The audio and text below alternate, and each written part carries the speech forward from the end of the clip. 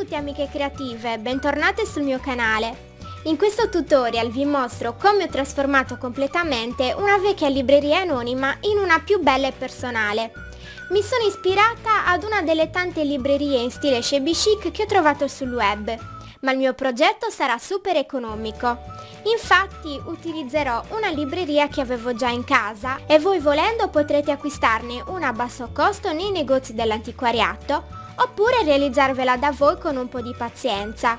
Per questo progetto utilizzeremo la tecnica del decoupage e quindi ci serviranno delle carte. Io ho scelto di riciclare le pagine di un vecchissimo libro, poi una penna, forbici, un goniometro, una squadra, un pennello, colla vinilica da diluire in un po' d'acqua e una striscia di cartone. Per la decorazione finale ci serviranno inoltre dell'acrilico nero, una spugnetta, delle mezze perle bianche, un fiore in resina, un pennarello nero e per finire degli stencil. Bene, iniziamo preparando la carta. Strappo le pagine dal libro e in seguito ne ritaglio i bordi seguendo la linea dritta che ho tracciato con penna e righello. Dopo aver diluito la colla vinilica con un po' d'acqua, la cospargo in piccole sezioni sulla libreria e in seguito ci posiziono sopra la carta stando attenta che non si formino delle bolle.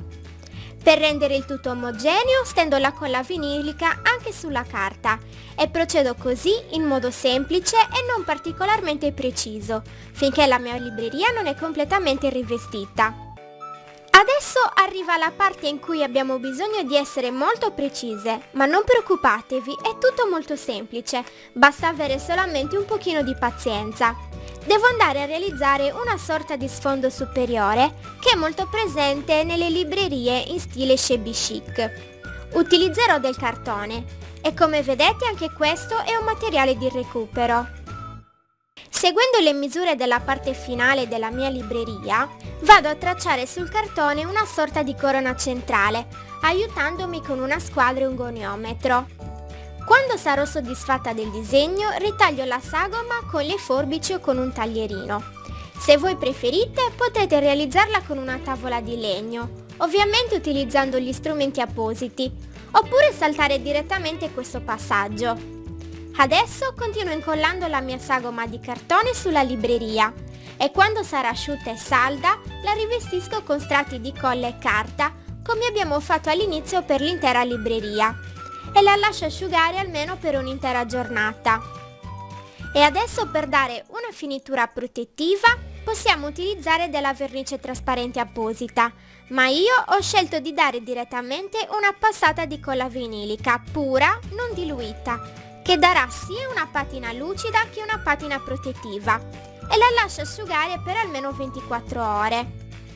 Quando la mia libreria è pronta vado a rifinire e dare profondità a tutti i bordi, tamponandoli con una spugnetta con dell'acrilico nero.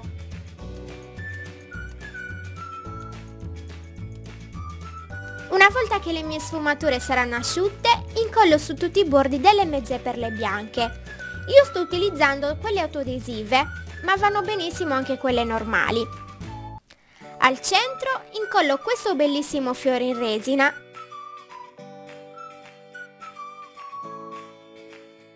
e poi con uno stencil e un pennarello ho deciso di aggiungerci come tocco finale una scritta sweet book.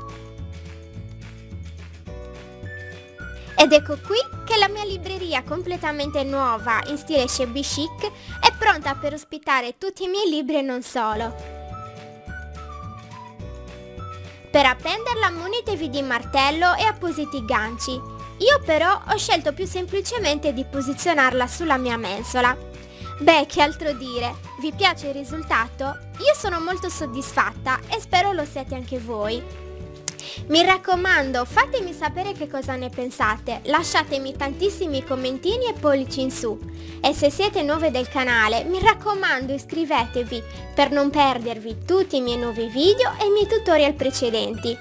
Inoltre vi ricordo che potrete seguirmi anche su Instagram, Facebook, Twitter, Google ⁇ e sul mio blog Tutti i link e le maggiori informazioni li trovate nell'info box. Bene, credo di avervi detto tutto, io vi ringrazio per la visione e noi ci vediamo nel prossimo video. Ciao!